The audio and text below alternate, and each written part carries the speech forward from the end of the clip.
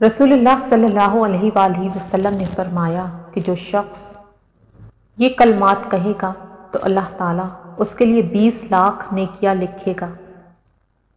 चूँकि रमज़ान मुबारक में हर अमल का सवाब सत्तर गुना बढ़ जाता है तो एक दफ़ा पढ़ने से चौदह करोड़ नेकियाँ लिखी जाएँगी। और जिस कदर ज़्यादा पढ़ेगा, उतना ही ज़्यादा सवाब पाएगा।